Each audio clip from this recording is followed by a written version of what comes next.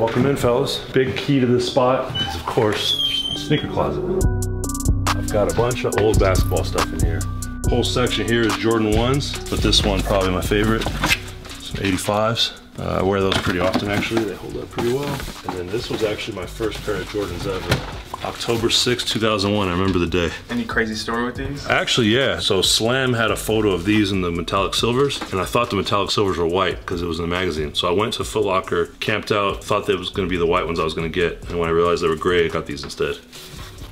These are some of my favorites of all time. This is the Oregon LeBron 2s. Oh man, those are nuts. I got You these and the green pair when I was like probably 23 years old. I ate Reese's Puffs for like the whole month on that month. PJ actually borrowed my other green pair, so PJ, I need those back. But I do have a sample of Sole Collector Soldiers and then uh, the LeBron 6 that was not the LeBron 6 with the carbon fiber wrapping around for the logo. Have you worn any of these? The pair that PJ has.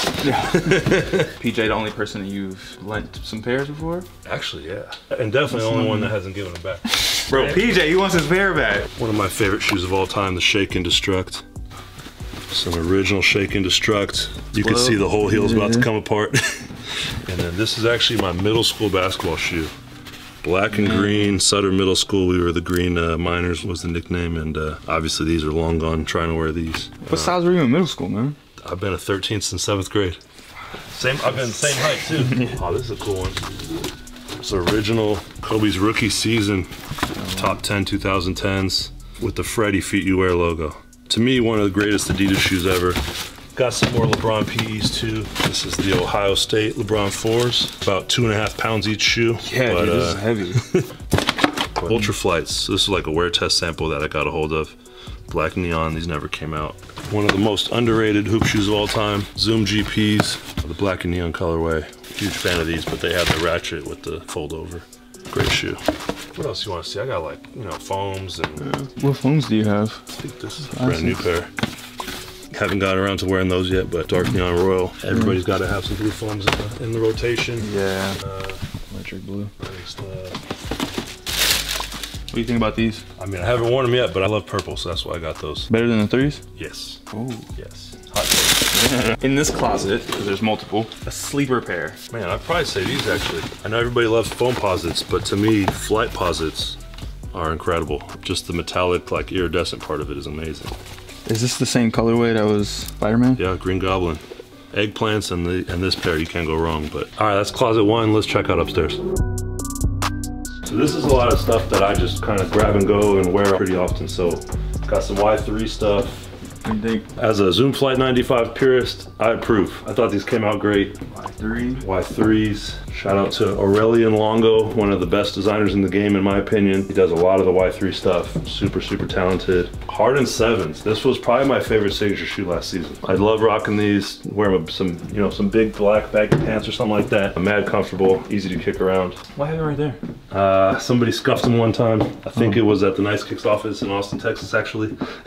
it was that damn dog. Got the Tough Crowd Curry 11s there. Got the red accents. Got the Dog Splash logo on the insole, if you could see that. And then some Jordan 1s to kick around. Some more Y3 stuff. Some designer type stuff. This is where it's at. This is original 1991 Command Force with the VHS from White Man Can't Jump. Of course, Billy Hoyle was my guy. Out of respect to the first one, I didn't see the sequel. I don't know if it was from like uh, Space Jam versus Space Jam 2, like uh, Aftermath, and not wanting to see the sequel. Jason Williams, growing up, one of my favorite basketball players. I got some signed Tai Chis from his AND1 era. Uh, Yankees LeBron fives was kind of a big deal when these came out because, of course, LeBron was deciding the year after that what team he was going to go to. This was the Yankees LeBron six. That actually was not the LeBron six. Uh, these ended up getting scrapped, but uh, size 9 sample I've always held on to. This was the Sole Collector collab that never happened. We were going to do a Jordan 11 collab with Tinker and the Jordan brand. Tinker actually misspelled patent leather, which is kind of funny. We were going to do a shoe that had a fully carbon fiber heel counter to tell the story about the 11s with carbon fiber. In actuality, it got scrapped, and as you see on the cover, this was the Comfort 11. So that was the shoe we ended up doing with the SC on the heel. My beloved Oregon Ducks, I got the Jordan 4s from the Oregon football team PE. That's actually the heel counter mold with Tinker's like original sketch, which is pretty cool with the gloss on it. Here I've got some Hyper Flights. Again, Jay Will, my guy, 55. And then this was the Zoom Flight Club uh, that we did at Sole Collector, inspired by the Hyper Flights. And on my pair, they put the NDP logo on the heel, which is pretty cool. I will say the, the shoe history in Sacramento is pretty limited, but to go from Hyperflights to the next year, the C-Dubs in chrome, this was a crazy shoe. C-Webb wore these at the All-Star game in 2002. If you wear them at all, they pretty much crack and chip everywhere, but that's why these are on display. Did you recently get those? I recently got those after probably, I mean, literally 20 years of trying to get them. And then this is an original Shaq Attack one in his size. First signature athlete with Reebok. Shaq was one of my favorite players growing up. This is the original Shaqnosis in my size, which is funny because it's a 13. And it looks miniature versus his size. Over here I got some Flight 89s. This actually I think is a size 9 sample that's signed by Gilbert Arenas who wore them at Arizona. The black patents, I wore those in high school. That's a Curry 4 sample from the 2017 finals. Think it was game 3 he wore those. He wore this pair. Uh, not that pair that's in his size. That's like another colorway. That's the Curry 9 from the 2974 record breaking event at Madison Square Garden when he broke the three point record. This is one of five pairs. Tough Crowd times Curry brand. Slip on with the black flow. Comfortable? Mad comfortable. We'll see if they actually come out. And then uh, let's check out the top floor. This is where I have bunch of stuff that I don't really wear too often. It's more so just like storage. Some of my favorites in here. Penny 2's Sole Collector. This is our fifth anniversary shoe back in the day. One of my favorites, Penny 1, uh, Sole Collectors back in 2011. This was a Zoom rookie we did. Oh wow, the Galaxies. This actually came off to reveal the S, which was always cool. It's a Sole Collector Trainer 360. This might be one of my favorites of all the Sole Collector collabs we did. It's kind of like that SC Trainer 2 colorway inspired, but it's got the sole nose. I also got some OG stuff in here. Got some Thrill Flights. Thrill Flight was actually my first Nike shoe I ever got. I got the black colorway, and it was also Aaron Cooper's first shoe he ever designed, which always thought was a cool fact. This is the Jordan Vindicate. Vin Baker from 1999. A lot of people say that Carmelo was the first signature athlete, and I love Melo too, but the shoe was called the Vindicate, and the guy's name was Vin Baker. Seems like it was his shoe, so. Carmelo says he's the first. Now, I just want to be clear. I was the first Jordan brand signature athlete uh, ever.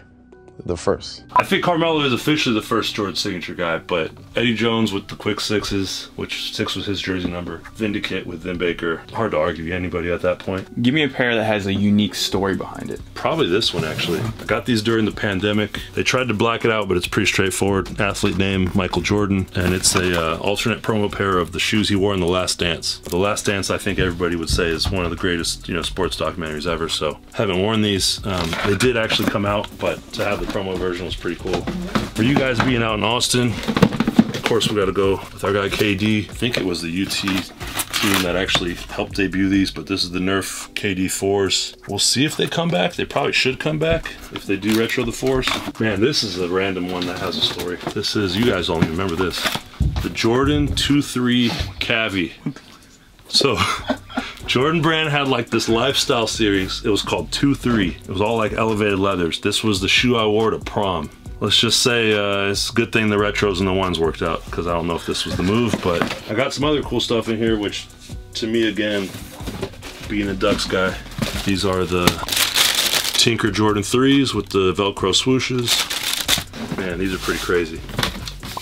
Just the O uh, with the web foot on the back, which is sick.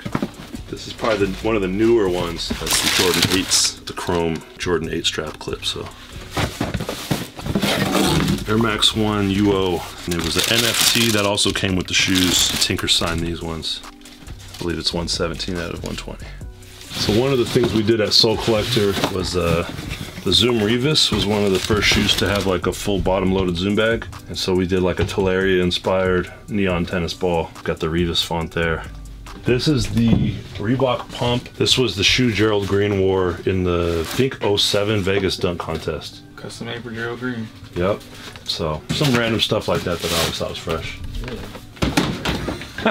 What is this? So I guess they're supposed to be an error shoe. So Puma being a European company, I'm a US 13, which is a European 46. So they made these as if it's a US 46. I would say usually a display piece, but also so big that where are you gonna really put them? All right, this is the Dame 4 glow in the dark skate. So there's a spot called Oaks Park here in Portland that we would actually go skate at. Obviously Dame's no longer in Portland, but best of luck Milwaukee. But when they did the Dame 4, they made a skate version for him and I got a pair too.